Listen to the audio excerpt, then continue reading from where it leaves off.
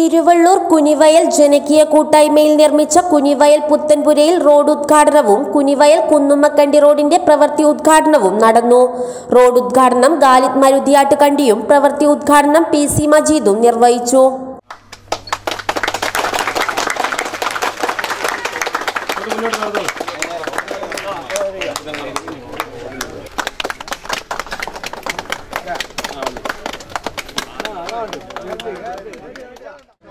ഒരു ഏകദേശം ഒരു നാൽപ്പത് വർഷത്തോളം പഴക്കമുള്ള റോഡാണ് ഈ കുനിവയൽ കുഞ്ഞിരായരോത്തുമുക്ക് റോഡ്.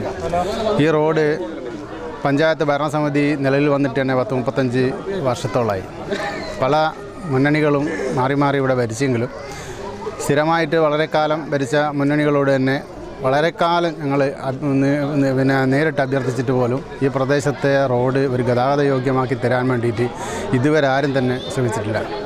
ഇപ്പോൾ ഈ പഞ്ചായത്തും ഭരണസമിതിയും അതേപോലെ തന്നെ ജനപ്രതിനിധികളെല്ലാം തന്നെ കൈയൊഴിഞ്ഞ ഘട്ടത്തിലാണ് ഈ പ്രദേശത്തെ നല്ലവരായ നാട്ടുകാരുടെ കൂട്ടായ്മയിൽ സഹകരണത്തോടുകൂടി ഞങ്ങൾ ഈ റോഡ് ഗതാഗത യോഗ്യമാക്കാൻ വേണ്ടിയിട്ട് മുന്നിട്ടിറങ്ങിയത്.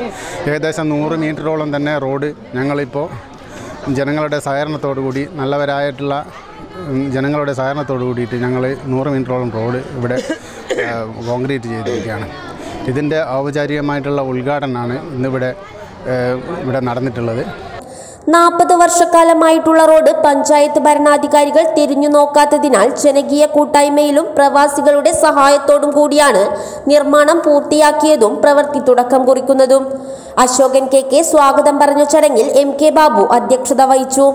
Kunhammad K K Krishnan കെസദു K Nanu C M Siraj Parambath Kunhammad Raveendran road നിർമ്മാണ കമ്മിറ്റി കൺവീനർ സുധി കുന്നുമ്മക്കണ്ടി എന്നിവർ ചടങ്ങിൽ പങ്കെടുത്തു. കാരണം പത്ത് നാൽപ്പത് കൊല്ലമായി ഈ റോഡ് മുന്നോട്ട് വെച്ചതും ആൾക്കാർ പോകുന്നതും കൂടി ആണ് സംഭവം. ഇതുവരെയും എല്ലാ മെമ്പർമാരും തിരിഞ്ഞു നോക്കാതെ തിരിഞ്ഞു പോവുകയാണ് ചെയ്ത് ബഹുമാനപ്പെട്ട ബ്ലോക്കിൽ നിന്ന് മെമ്പർ വന്നിട്ട് എന്റെ ഏരിയത്തിരുന്ന് സംഗതി എല്ലാം കരഞ്ഞ് ഞാൻ പറഞ്ഞു നോക്കി. ഒരു രക്ഷയും കിട്ടിയിട്ടില്ല. കാരണം ആരും തിരിഞ്ഞു നോക്കിയില്ല. ഈ റോഡ് പത്ത് പതിനെട്ട് കൊല്ലമായി ഈ റോഡ് ഇങ്ങനെ കിടക്കുന്നു. കുറേ അപേക്ഷകളും ഇതെല്ലാം ഗ്രാമസഭയിൽ ഞാൻ കൊടുത്ത്. എന്നിട്ട് ഒരു ഇതും ഇനി വന്നിട്ടില്ല. ഒരു അളവെല്ലാം എടുത്ത് ടേപ്പും കൊണ്ട് അളവെടുത്തിട്ട് പോയിക്ക്.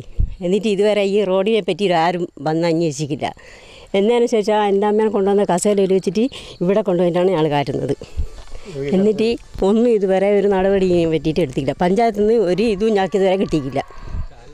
ഇപ്പോൾ ഈ നാട് വലിയ ഒരു ഉത്സവത്തിന്റെ ഒരു അന്തരീക്ഷത്തിലാണുള്ളത്. ജനകീയ കൂട്ടായ്മയിലൂടെ ഒരു പ്രദേശത്തിന്റെ ദുരിതം പകുതിയെങ്കിലും മാറ്റിയെടുക്കാൻ വേണ്ടി സാധിച്ചിട്ടുണ്ട്. ഈ പ്രദേശത്തെ നല്ലവരായ ജനങ്ങളുടെ ഒരു ഒത്തുചേരലാണ് നമ്മൾ കണ്ടത്.